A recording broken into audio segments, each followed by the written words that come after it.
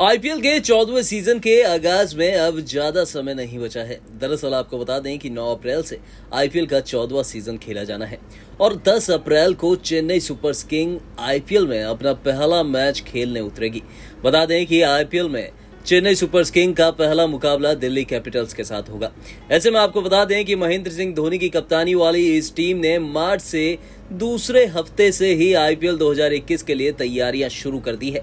बता दें कि 16 मार्च को चेन्नई सुपर किंग का एक प्रैक्टिस मैच भी खेला गया है, जिसमें महेंद्र सिंह धोनी बिल्कुल अपनी पुराने अंदाज में नज़र आ रहे हैं।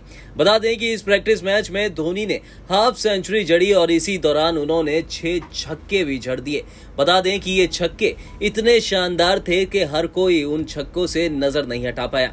ऐसे में आपको बता दें कि इंटरनेशनल क्रिकेट से अलविदा कह चुके धोनी ने आईपीएल में खेलते रहने का फैसला लिया था। बता दें कि पिछले सीज़न आईपीएल में धोनी बल्ले से कुछ खास कमाल नहीं कर सके। और उनकी टीम प्लेऑफ में भी नहीं पहुँच सकी। ऐसे में अब आपको बता दें कि वो चाहेंगे कि आईपीएल 2021 में वो टीम के लिए कुछ यादगार पारियाँ ज़रूर खेलें। ऐसे में आपको बता दें कि धोनी इंटरनेशनल क्रिकेट से दूर भले ही हैं, लेकिन अपनी फिटनेस का पूरा ध्यान रख रहे हैं और उनके प्रैक्टिस सेशन के वीडियो देखकर आप भी हैरान रह जाएँगे।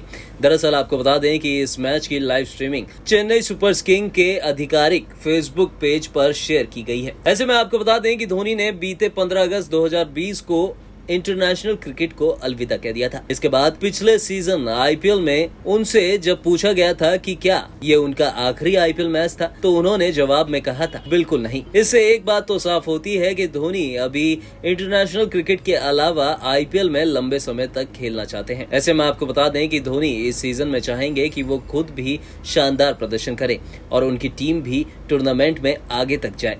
ऐसे में देखना दिलचस्प होगा आईपीएल 2021 में महेंद्र सिंह धोनी की सेना यानी चेन्नई सुपर किंग का कैसा प्रदर्शन रहता है। एएनपी न्यूज़ रूम की रिपोर्ट।